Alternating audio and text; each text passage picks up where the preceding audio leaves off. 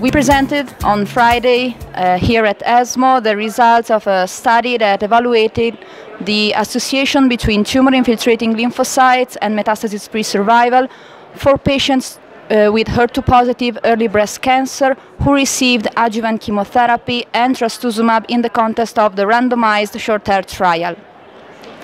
So we started from the background that in HER2-positive early breast cancer, uh, TILs are frequently present and are uh, often associated with improved pathological complete rate and long-term outcome uh, after uh, optimal treatment.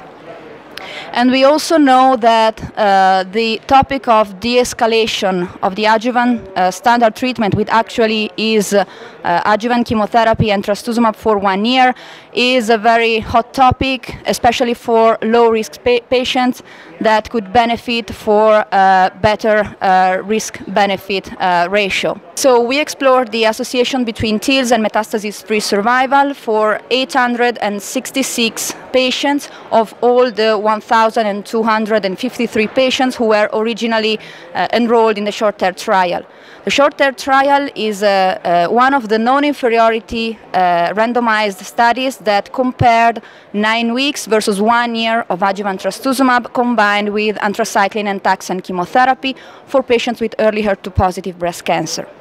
So it is a trial that uh, tested the non-inferiority of a shorter duration of uh, trastuzumab as compared to the standard one year, uh, but the final result of the study failed to demonstrate the non-inferiority of nine weeks. So we had samples to evaluate TILs for 866 patients from this uh, trial, and we found that tumor-infiltrating lymphocytes are significantly associated with metastasis-free survival. In particular, there is an hazard ratio of 0.76 for each 10% increase in TILs.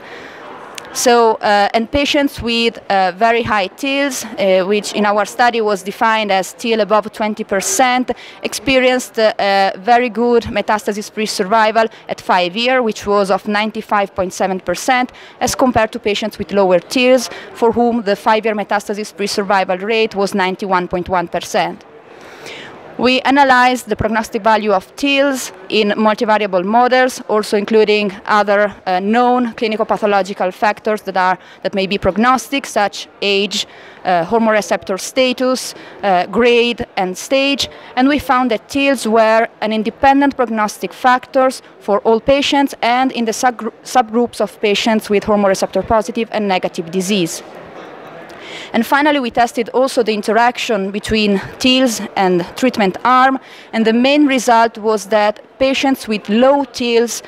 uh, derived a significant benefit from one-year trastuzumab as compared to nine weeks, whereas patients with high TILs had a very excellent outcome irrespectively of trastuzumab duration. Therefore, the main conclusion was that TIL are associated with uh, improved outcome for patients treated with adjuvant chemotherapy and trastuzumab, and that patients with high TILs may be uh, eligible for treatment de-escalation. Of course, uh, this is the first study that assessed uh, this, this research question, and a pooled analysis of multiple trastuzumab trials is uh, indeed needed. We have uh, already, uh, at this time, uh, five uh, studies, including the uh, ShortHER trial, that tested the non-inferiority uh, of a shorter trastuzumab duration as compared to one year. So it will be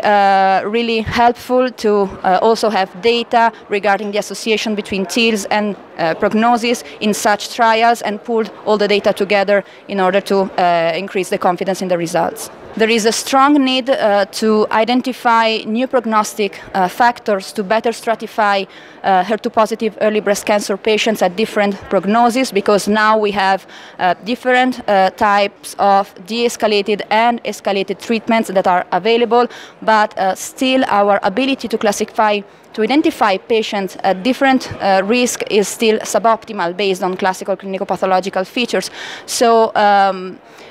we need to uh, pull uh, the data from all other trials investigating adjuvant trastuzumab um, in order to um,